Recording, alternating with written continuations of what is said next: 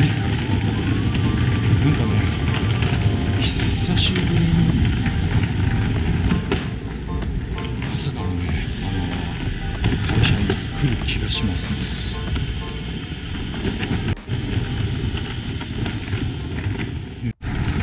さあ今事務所を出たんですけれどほらここ今までの事務所があった通りです。朝よりもすげえ暑くなってますね。表出たら。事務所の中いたら分かんなかったけれど。ほら今までの、えー、引っ越す前の会社があの茶色いとこ。で今日行くところはその斜め前のじゃん、えー、こちらのビルです。ね超近いでしょう。さあまたねえー、広商店街です。今帰りなんですけどね夜の、えー、撮影モードっていうのをちょっと試しながら、えー、帰りたいと思います、えー、今のもねこれカルマグリップに GoPro をヒーロー7をくっつけて歩いてます。多分これ今モニター確認してるとなんかこれ肉眼でね実際よりもやたら多分明るく映ってると思います。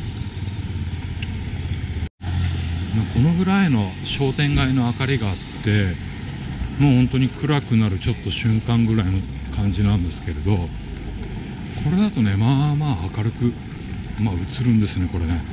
結構優秀かも。このねタイガー餃子っていうとこね一回来てみたいんですよね。もうね 2.7K はやっぱりやめました。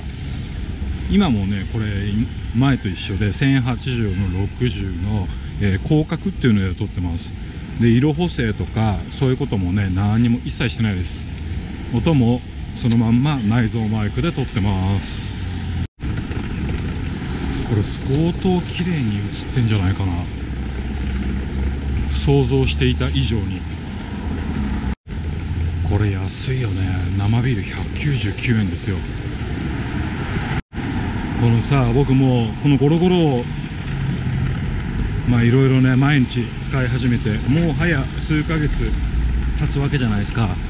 でねこれを毎日、まあ、持ち歩くことにでね気づいたことが街の中って結構この下に見えるさ黄色い帯みたいなやつこのこの凸凹のやつ。これがねすげえ天敵なんですよ僕の。超ねこのねタイヤが持ってかれる。さあそろそろ結構暗いですよ。どうですか？は